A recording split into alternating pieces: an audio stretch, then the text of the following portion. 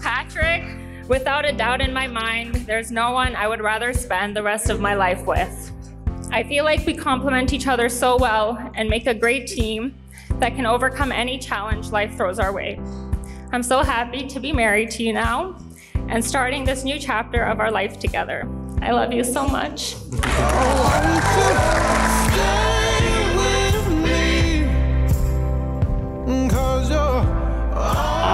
I, take you, Patrick, to be my husband.